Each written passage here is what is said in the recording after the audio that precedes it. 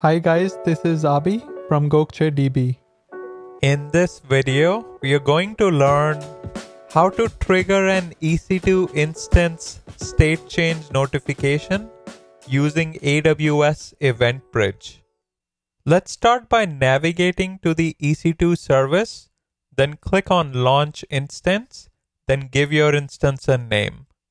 Select an AMI and a key pair then click on Launch Instance button.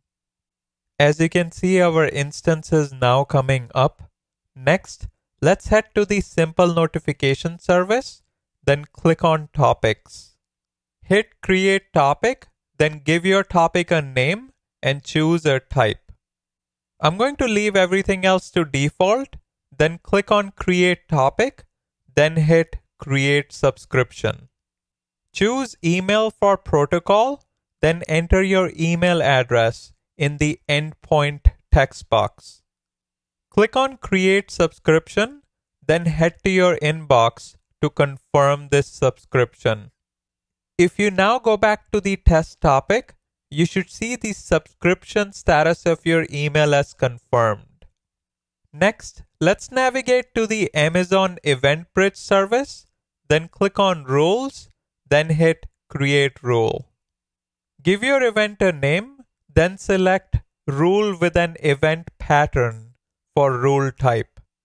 Hit Next, then scroll down to the Event Pattern section and choose EC2 from the AWS Service dropdown.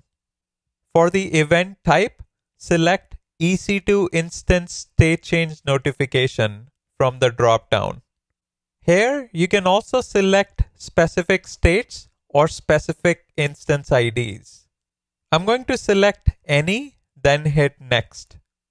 Select SNS topic from the target dropdown, then choose the test topic that we just created. Go next, then click on create rule. To test this setup, I'm going to go back to the EC2 service and terminate my test instance.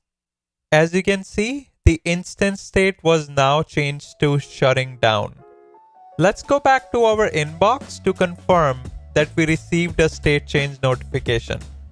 Note sometimes these notifications end up in the spam folder. There you have it. Make sure you like, subscribe, and turn on the notification bell. Until next time.